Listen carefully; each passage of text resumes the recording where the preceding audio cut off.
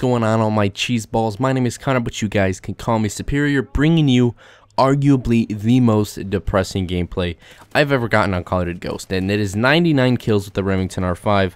Uh, yeah, you heard me right, 99 kills. Now, I'm sure half and half of you guys are probably split on what you're thinking. And one half is thinking, holy cow, 90 kills, or 99 kills, that's a lot of freaking kills.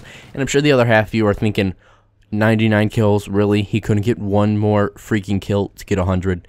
Um, but yeah, believe me, I'm, I'm, I'm, I'm on the half that's thinking he couldn't get one more kill because, you know, I've gotten a bunch of 100 kill games and they've all been with the Honey Badger, or the AK-12, or some really good weapon like that.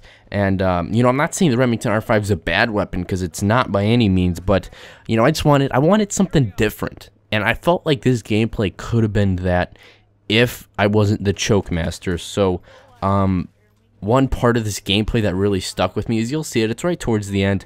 Um, I have 99 kills, and I kind of I'm in like the mid street or whatever you want to call it on Warhawk, and you know I'm just walking, and then some guy comes out of the post office, and he freaking kills me with a noob tube, and you know that that really pushed my buttons, and it got me thinking.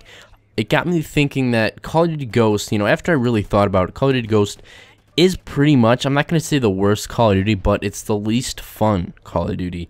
Um, so many people, my friends, if I go on my friends list and just scroll down and see what everyone's playing, I bet, and I, I don't bet, I actually counted earlier today, and there were just as many people playing Call of Duty Black Ops 2 or not just Call of Duty Black Ops 2, but any Call of Duty other than Ghost, as there was playing Call of Duty Ghost on my friends list. So, you know, that got me thinking, like, why? What did this game do wrong? You know, this game's only been out for about four or five months now, and, like, what did this game do worse than all the other Call of Duties that made people want to go back, and so they didn't even have to put up with this game anymore? And, you know, it really got me thinking. And one of the things that really kind of, kind of came into my head first was all the things that they added into this game to kind of make the skill gap in between the best players in Call of Duty and in between the worst players in Call of Duty smaller. So there wasn't really that big of a gap. And, you know, I really noticed that myself. For example, earlier in this gameplay when I was talking about uh, the noob tube that killed me, and there's just certain things like that, like um, the target finder or whatever it's called in this game. If you put that on LMG, it's absolutely beast. Or IEDs, you can just throw them down and it's pretty much a guaranteed killer. Just little things like that.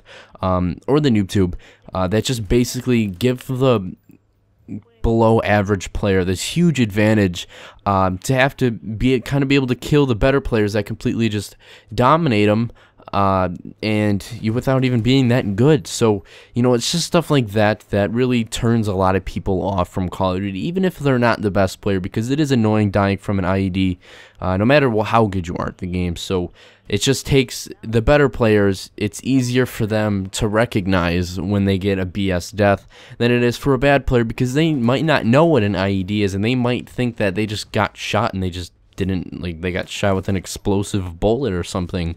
So, um, so you know, it's definitely it's. I think it's easier for the better players to get mad at a game and to realize when they got cheated out of a kill or cheated out of a death or something like that than it is for a um, more noobish player to realize when something like that happened to them.